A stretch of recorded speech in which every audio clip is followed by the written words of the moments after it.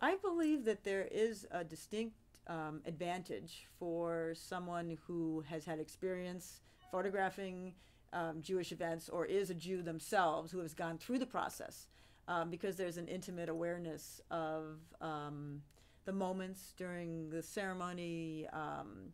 the, the, the ritual objects to, to get, um, and